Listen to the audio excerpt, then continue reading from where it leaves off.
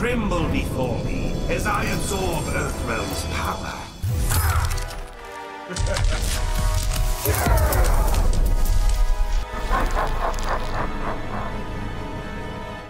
Final round.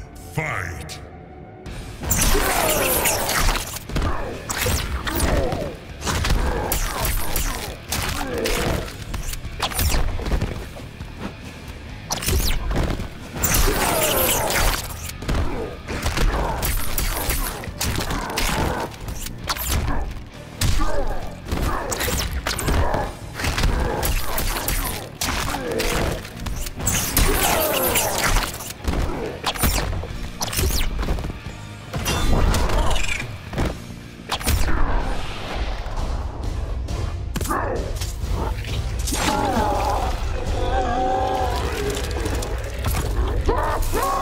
The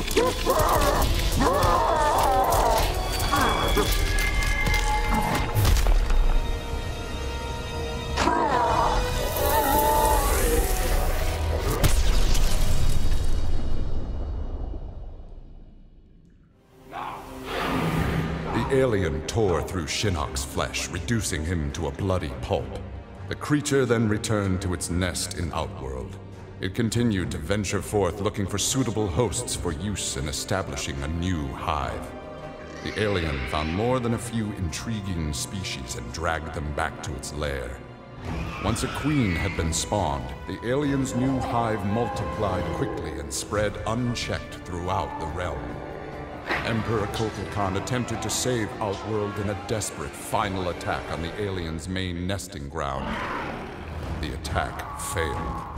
Outworld belonged to the aliens.